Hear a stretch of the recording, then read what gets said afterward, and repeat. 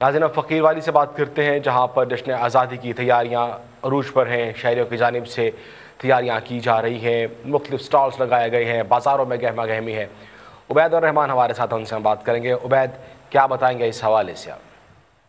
मुल्क बल की तरह फ़कीर वाली में भी जश्न आज़ादी की तैयारियाँ अरूज पर हैं। गली मोहल्लों और चौराहों को झंडियों के साथ सजा दिया गया है।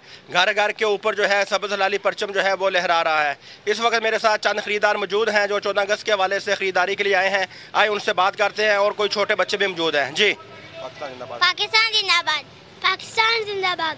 पाकिस्तान जिंदाबाद। जी। मुल्क पाकिस्तान के हसूल के लिए हमारे आबाओ अजदाद ने बड़ी कुर्बानियाँ दी हैं।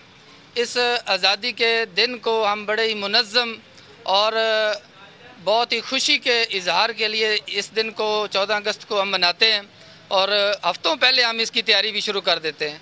तो इस दिन की तैयारी के लिए स्टॉल पर आ जाएँ बच्चों के लिए झंडियाँ और बैंस और वगैरह वगैरह जो चीज़ें हैं वो ख़रीदने के लिए ताकि हम इस आज़ादी के दिन को अच्छी तरह मना सकें।